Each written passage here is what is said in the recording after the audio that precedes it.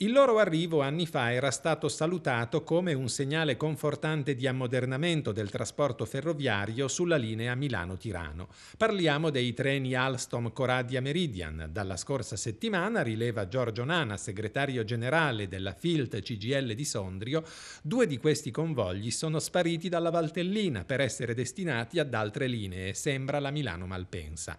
In cambio, riferisce il sindacalista, Trenor da noi ha rimandato i vecchi Ale 580 882, treni che hanno superato i 40 anni e che ci avevano promesso sarebbero stati rottamati.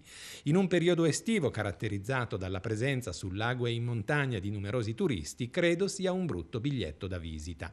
Nana ha subito sensibilizzato al problema il prefetto di Sondrio, il presidente della provincia e il sindaco del capoluogo. Critiche anche a RFI. Al deposito della stazione di Sondrio la pompa dell'acqua non funziona più. Gli addetti alla pulizia delle carrozze devono riempire il secchio alla fontana, come una volta.